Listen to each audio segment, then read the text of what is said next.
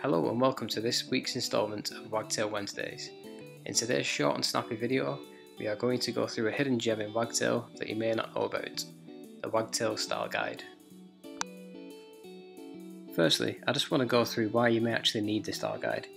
If you're a developer and you're looking to work on the Wagtail UI, or you're creating a new UI component, you may want to test it against the Wagtail Style Guide for consistency or maybe just for a bit of inspiration. To get the style guide working, all we need to do is head over to our code, we've just created a basic Wagtail instance and open the base.py file.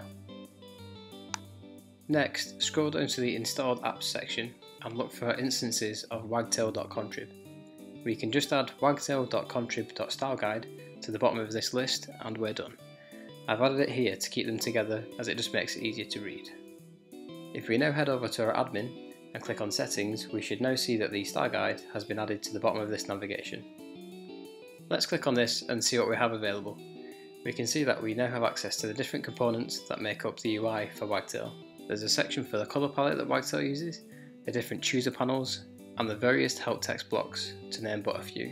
We tend to use it when adjusting the model admin, where we need to specify an icon for a particular menu item. Being able to choose from a good list of icons makes it much easier for a developer to create a better experience for the user, as the right icon can improve visual interest and grab the user's attention. So there we have it, a really useful part of Wagtail that you may not have discovered. Thanks for watching this quick, simple video on the Wagtail Style Guide. If you enjoyed it, please consider liking and subscribing to our channel. You can also sign up to our mailing list for early access to our videos, and you can find the link in the description below. Thanks and see you next time.